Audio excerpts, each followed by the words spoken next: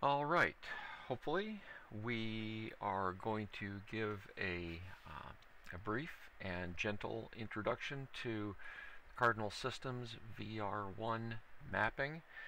Uh, this first video is really just going to have to do with uh, uh, uh, an introduction to the program itself. Um, so what I'm going to do is uh, I'm going to go ahead and start up the VrOne program. Just double click on the icon. Uh, a few windows are going to start up. Um, these are all documented in the uh, in the documentation itself. Uh, I believe that the uh, the little menu bar that I have placed down at the bottom uh, is called the main window, and then the big blank canvas is called the graphics window. Uh, there's a little uh, dialog box here, a little floating dialog box. Uh, this is the uh, a coordinate display and I can set that to show X, Y, Z, uh, all or none. Uh, turn that on and off. I, I like it just as a, a quick reference. Uh, the, the most important thing I'm generally worried about is the Z, so I've got the Z nice and big and bold there. Um, there is one other window that is going to be started in the background. Uh, I usually refer to this as the, uh, the launch window.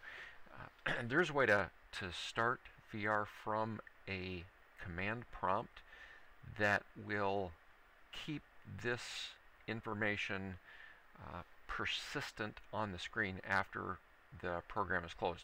This window is just going to be closed when the program is closed.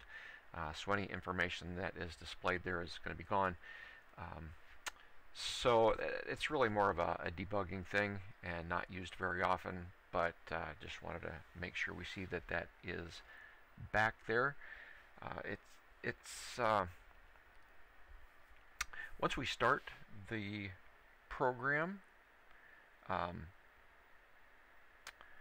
we are going to interact with it by commands. Uh, the commands are, can either be accessed through these menu bars or they can just be typed in. So for example, if I want to insert a line, I could go to the insert menu and choose insert a line.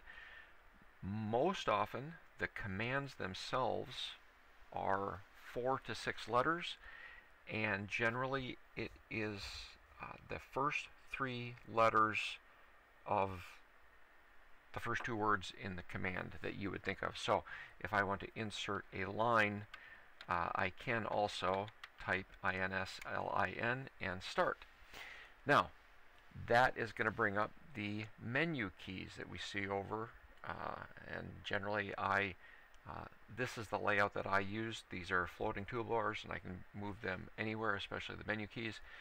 Uh, I typically keep the menu keys always in this position, always in one place. I have them set so that they all open the same place so that uh, I, I know where to find them. But the other thing that happened was a warning.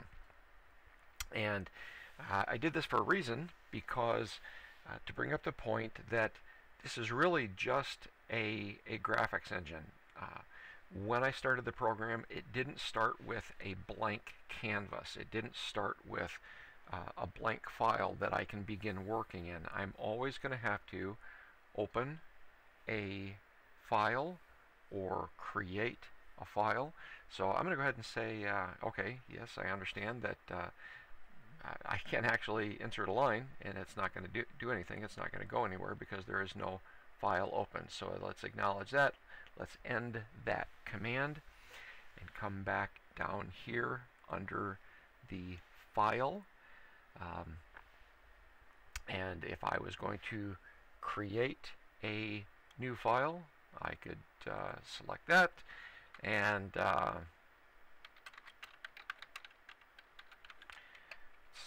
go to my training and you know I could create a new file. Uh, when I do that, uh, it has created that file. Do I want to open it? Yes. And then it's going to ask me to uh, set a couple of parameters for that individual file. Um, one is going to be the target scale. The target scale is uh, something that's going to go into the header so that any time that I interact with uh, things like uh, page size or symbol size or that sort of thing, if I'm working in map units, for example, if in the end uh, I'm, you know, one inch equals 100 feet, and I want to insert a symbol that is, you know, five feet, then it's going to be five one hundredths uh, of an inch. So it, it, gives me a way to, to interact in inches and feet. Um, but it really is just a, a way of translating that kind of uh, map units to ground units. Uh, it's going to be important for things like uh, translation and you know how do things relate to inches if something is going to be plotted uh, and, and tying that into uh, to ground units. Uh, our especially when we're dealing with maps, our, our minds tend to think in displays and things like uh, you know inches, feet, uh, meters, ultimately uh, placement in geographic terms. Uh, the thing is, VR really is is simply a collection of x, y, z coordinates everything that goes into the database, and we'll talk about this later, uh, is is a collection of those ultimately just x, y, and z. So you know, in the in the uh, header, we're going to have the opportunity to specify what the units are. Um, the the scale can convert map inches to ground units. Uh, if we were to set the projection, and we're, we're not going to worry about that right now, uh, we'll save that for a, another time, but if we were to set the map projection, uh, that would allow us to relate those x, y, z um, coordinates to uh, a, a position on the Earth. But at the lowest level, uh, we need to remember that we're really just dealing with X, Y, and Z. That's the uh, that's where everything is going to go. So if I say, okay, uh, one uh, one to twelve hundred, which in imperial would be one inch equals uh, 100 feet, and now I can uh, notice that if I move the cursor uh, down in the main window, we have things like X, Y, and Z. Again, my coordinate dialog is showing my Z bigger and bolder because that's my preference. Um, but uh, now that we have a, a working file, uh, take note of this main window. It has all of the different menu and submenus, things like batch processing, uh, DTM surface processing, uh, inserting, editing, uh, manipulating the environment. Uh, there is also going to be some um, information areas. Uh, this information area is primarily set by the system itself. Uh, there's going to be another information area down here that is going to be more uh, dynamic, uh, dealing with uh, uh, the commands that we're running, certain parameters that are set in the commands as we're running. Uh, so we've looked at all of the different, we've got the main window, the coordinate dialog window, which, you know, if I don't want that, you know, that is the coordinate dialog. So C-O-O-D-I-A will turn that back on. If I want to close it, I can just close it. We did look at the launch window and things that are going on in the background a little bit.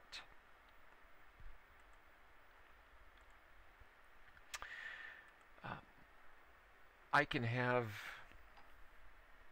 dozens, hundreds, multiple uh, VR files open at the same time.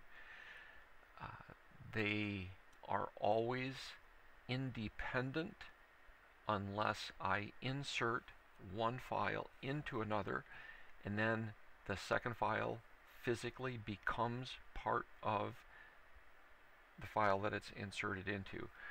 Uh, if I want to close a VR file, I can go to File and Close. Uh, I can close uh, a uh, an individual file. I can close all of them.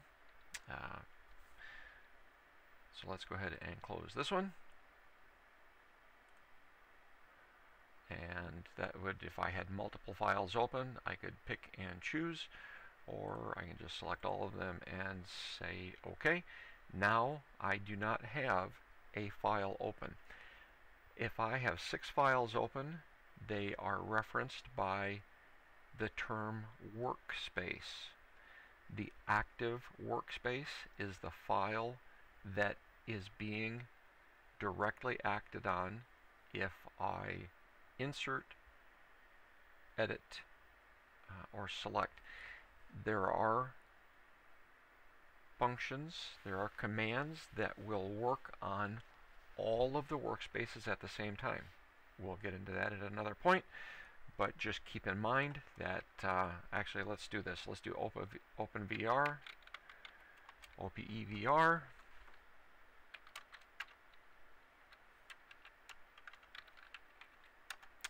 and we are going to uh, open one that I have already prepared and uh, if I am uh, if I had launched this in uh, the, the folder where I'm working from a command prompt. Uh, the, the program is aware, aware of where we are. Uh, but let's just go ahead and navigate. Let's open VR again and open up that empty one. And now we would see that there are two workspaces. Active workspace one of two if I want to uh, change my active workspace, uh, you can do things like listing them.